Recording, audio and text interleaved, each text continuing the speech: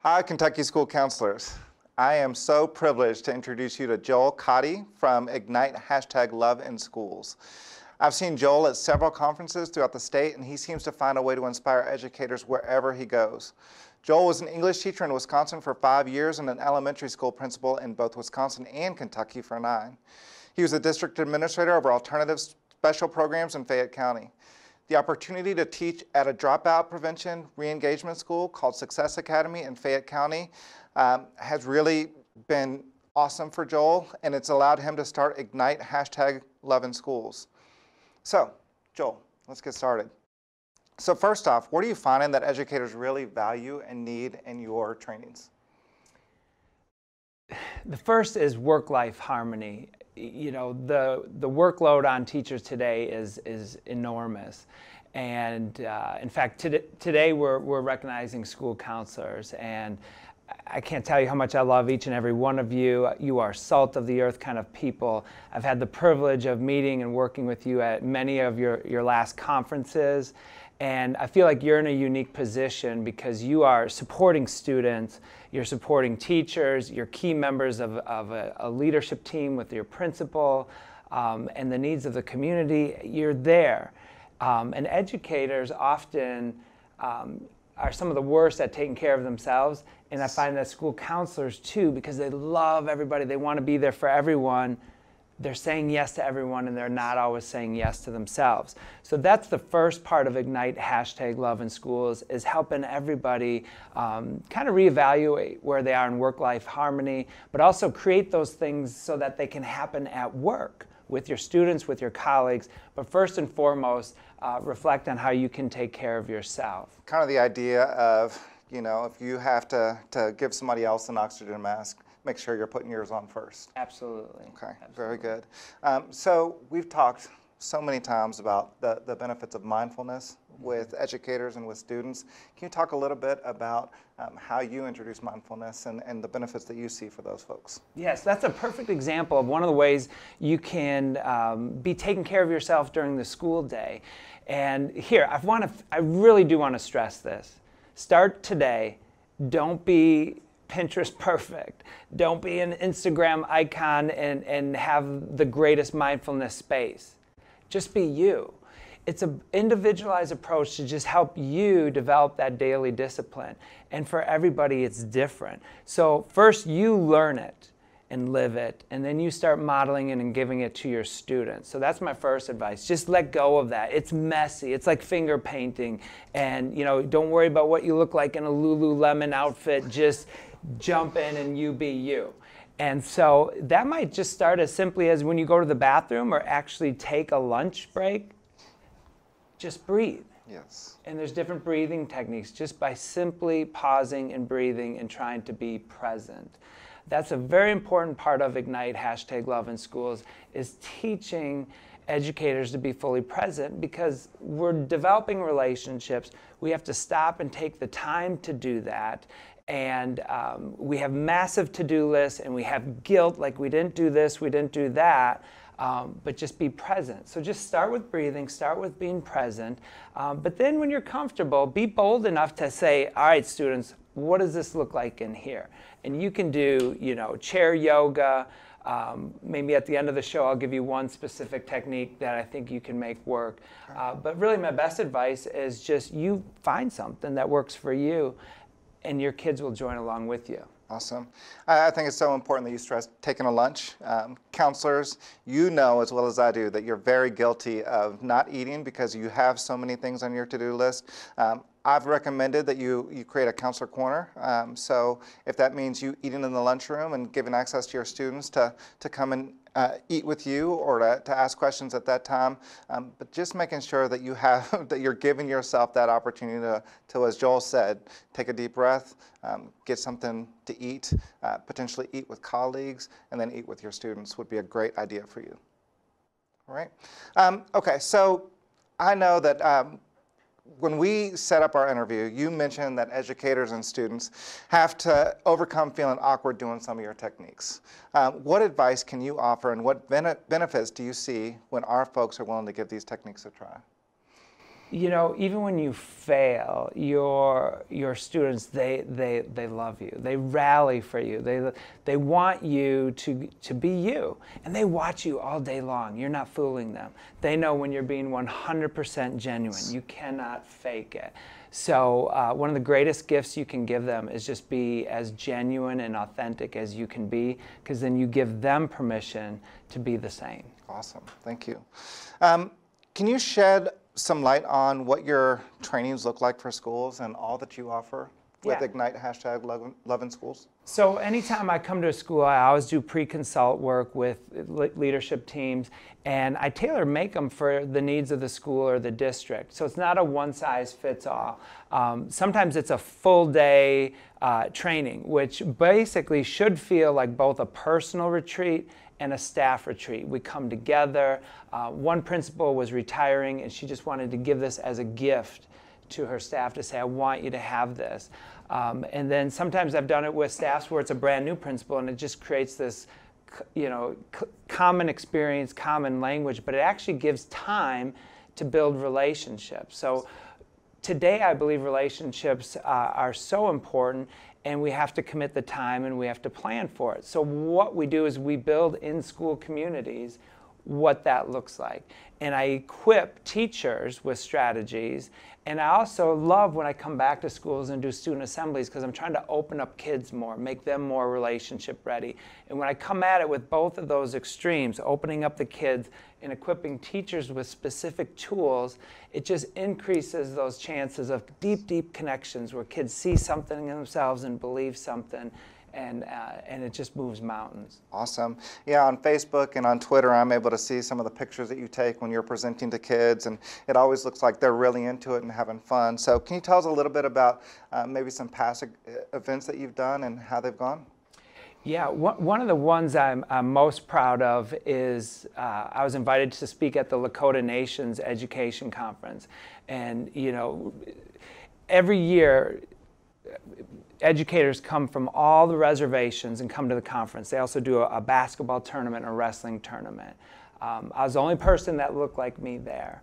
And um, so to be given that opportunity and then to you know see some of the smiles radiating and some of the confidence emerging um, is just a deep deep honor but uh, one of the events i'm most proud of is marshall county schools invited me this year to be their district keynote speaker for their all their staffs um, and they invited me back to work with their students during student assemblies. And we know we just had the, the two year mark of, of that anniversary.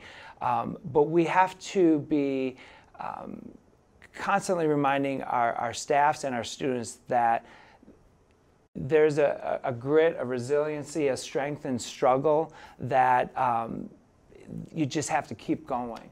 And so to be a part of that, those school communities and a part of that work was deeply, deeply humbling. Um, but one of the ones, in fact, I have the shirt. I was give them a shout out too.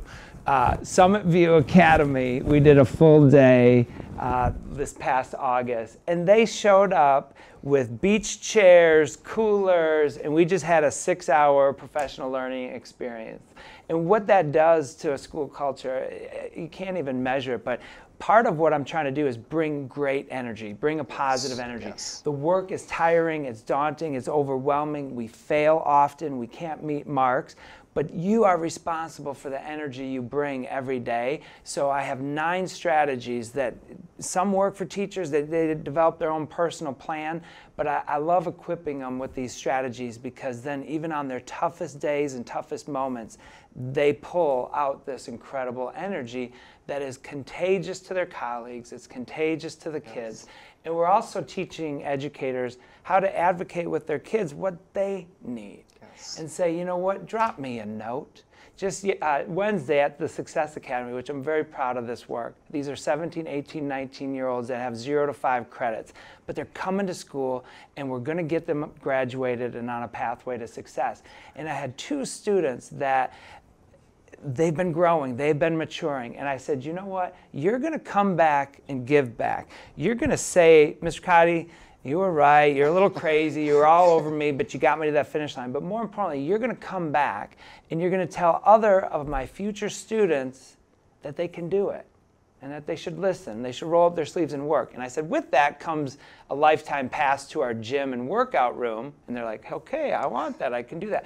But it's these moments where you have to help see, help the kids see um, what maybe they're not seeing in themselves. So um, I hope that gives you a little snapshot Absolutely. of what some of the work we can do. Absolutely, and I will say that um, as a as a school counselor, um, that is probably the most rewarding thing when we can can show a kid or show a student what they can be without them even being able to realize that at the time. Um, being able to show them the potential that they have and being able to offer hope.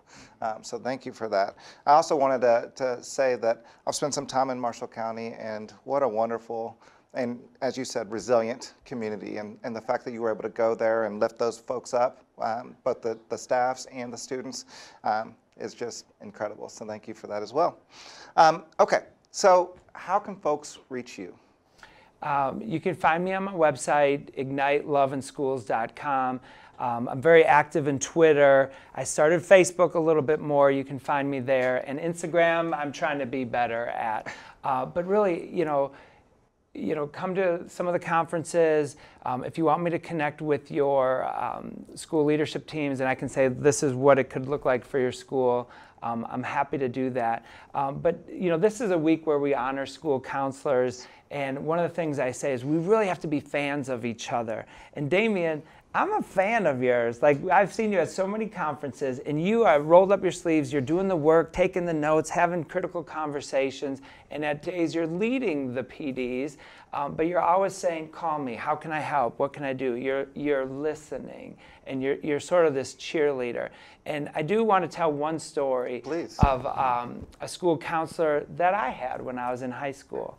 And uh, one of the things I do with Ignite hashtag Love in Schools is say if there's somebody that made a difference in your life, tell them. If they're no longer around, tell their families. We need to honor our profession. We need to fuel our profession. Mark Twain said you can go two weeks on a good compliment. We need those compliments. So this one is for Mrs. Matthews.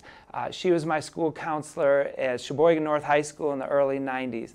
She passed away far too young, but I'm going to share this video with her daughter Amy, and hopefully she'll share it with her family. But you know, you're stretched for time with school counselors, and I think the first year I had maybe five minutes with her meeting her. Second year, five minutes. You know, maybe the third and the fourth year, maybe had two meetings that were 15 minutes. But every time I left there, I saw her eyes looking at me. You know how we say we listen with our eyes, our heart, and our ears, it really is the eyes.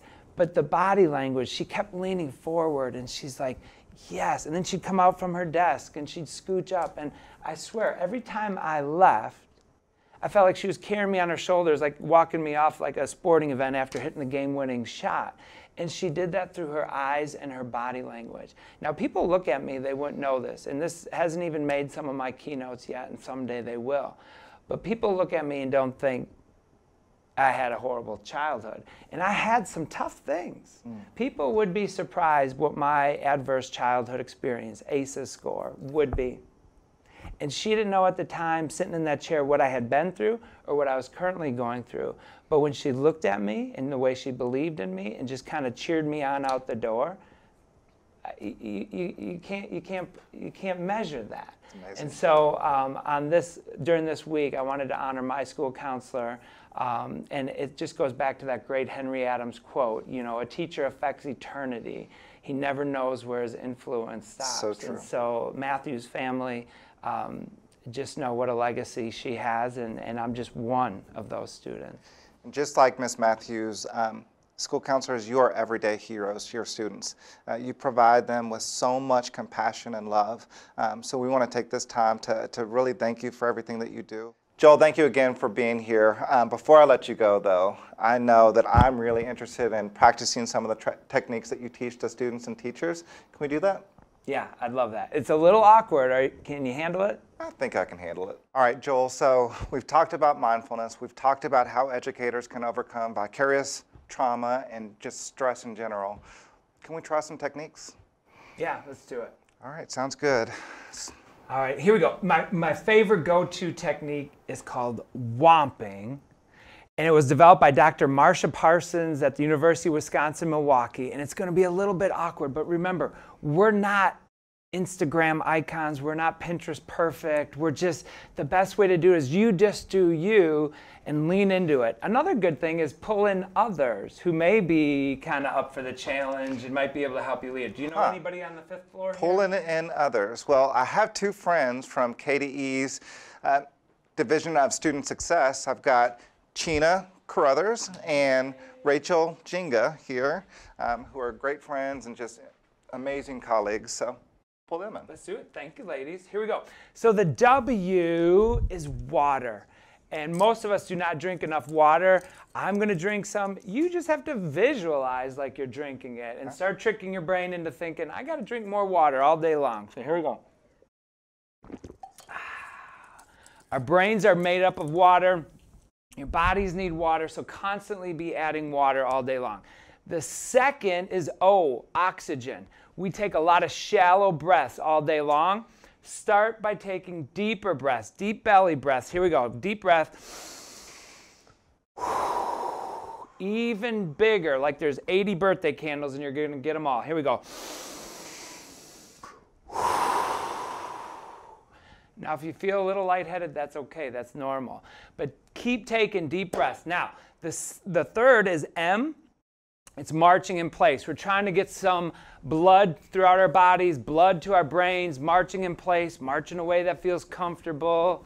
If you want to give it a little rhythm, go for it. Here we go. But there's a second M that is a midline march. Looks like this. You're going to cross over and touch something on the other side of your body, which gets both sides of the brain working together. Right now, they're like, hey, buddy, where were you? I missed you. We should get together more often. All right, look at us. All right, and then the P in Womping is pretzel. So you cross your arms like this, cross your legs like this, and then come underneath, and then massage the roof of your mouth with your tongue. And it'll wake up the last back part of your brain. Massage the roof of your mouth with your tongue. And then yell, onomatopoeia! Onomatopoeia. Now, I made that part up because kids today love novelty. Anything new, different, wild, crazy, but you can have them shout a song, can't touch this tune, and you can empower a kid to say Simon Says, but let that kind of evolve in your classroom and take on. The, the last thing that I added, so forgive me, Dr. Marsha Parsons, is shaking. And this comes from, I got to give a shout out to Mary Kay Howard. She's an incredible teacher at Lafayette High School. And basically, it's traumatic tremoring is a real thing. So imagine if you, something horrible happened to you, um, or even imagine the nastiest food that you would eat. I think of like clams, and you just kind of like, you just shake. Your body shakes these toxins and these awful things out if we are proactive with our shaking, it actually just kind of resets us and makes us feel really good. So a minute of shaking, if you do it right, almost feels like a 60 minute massage. So there's certain songs that have the perfect beats per minute. We didn't cue it up, so I'll sing it along, along even though I don't know the lyrics. So here we go. Are you ready? Yes. Do what I do. Relax your shoulders and shake. Rock the Casbah, rock the Casbah, Shari- rock the Casbah, rock the Casbah, low rider. Da-na-na-na-na-na. Keep your feet on the ground. You're going to want to move and dance, but you can kind of shift direction. Rock the Casbah, rock the Casbah, Shari- rock the Casbah, rock the Casbah. All right. So how does that feel? Tingly, yeah. Feels really good. All right. You just woke up every part of your brain. And I know this works. I used to do it with my high school kids 15 years ago. And we, in Wisconsin, we had ACT tests from kids from all over the state. And I was facilitating it. And there were three of my students among like 300 other kids. And they stood up and they womped themselves right before the test because they knew it woke up every part of their brain. So I like that. thank you for joining us. Thank you. Thanks, friends.